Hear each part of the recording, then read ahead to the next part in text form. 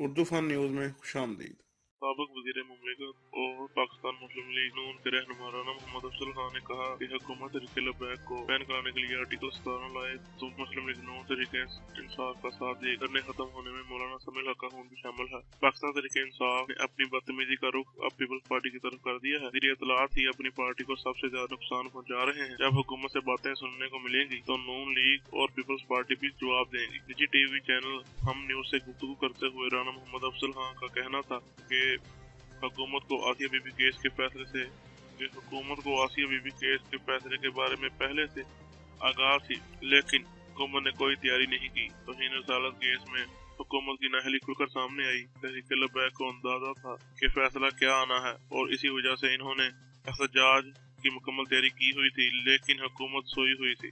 انہوں نے کہا کہ توہین رسالت کیس کا فیصلہ محفوظ ہو گیا تھا۔ حکومت نے اس کے بعض رینجرز کو موو کیا ریڈ زون سمیت ہر حساس جگہ کو پروٹیکٹ کیا، لیکن جس جگہ سے اصل تھریٹ تھی، حکومت نے اپنی ناہلی کی وجہ سے اسے نظر انداز کر دیا تھا۔ احتجاج اور توڑ پھوڑ کی دوران ہمیں کہیں پولیس نظر نہیں آئی کہ آگ لگانے والوں کو کسی کا خوف ہوتا۔ انہوں نے کہا کہ دھرنے ختم ہونے میں مولانا سمیع الحق کا خون بھی شامل ہے۔ فواد چودھری نے کہا کہ تھا کہ آپ کو پتہ بھی نہیں چلے گا کہ آپ کے ساتھ کیا ہوا اور یہ بات مولانا سمیع الحق